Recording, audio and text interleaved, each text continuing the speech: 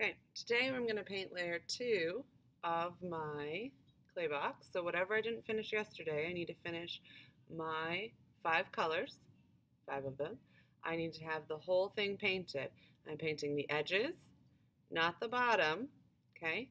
Um, the sides, anything and everything, five different colors. I painted it once yesterday. If I did not finish that yesterday, that's fine. I need to go through and paint that all first. So let's say I did red and yellow yesterday and I needed to do blue today.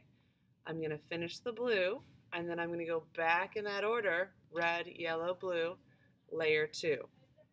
Okay, so by the end of the class today, I should have two layers of every color on my.